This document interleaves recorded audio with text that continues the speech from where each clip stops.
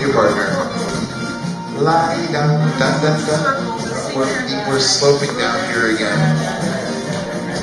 Hey there to get back up. Go forward, up to the middle and back. Okay, so all your hands join with everybody. Everybody join hands. And I want couple number four to come through, come right through the arch, take everybody with you, and stop for a second. Just couple number four, drop hands with your partner, then take your whole group of four, go around the outside, all the way around, dish rag twirly thing right at the end there, and good. Couple number four, rip and snort.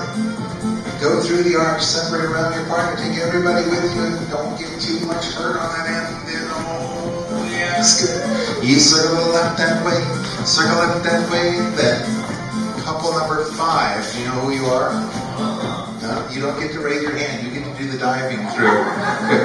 Couple number five, rip and snort. Take everybody with you.